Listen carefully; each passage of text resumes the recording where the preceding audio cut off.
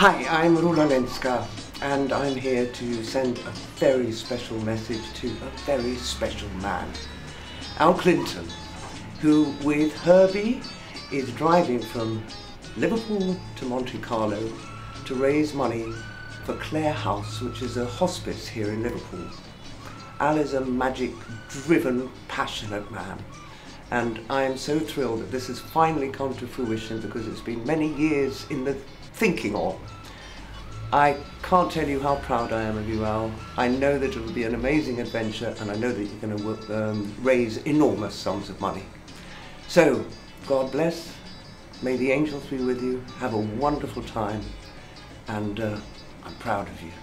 Go, Team Herbie.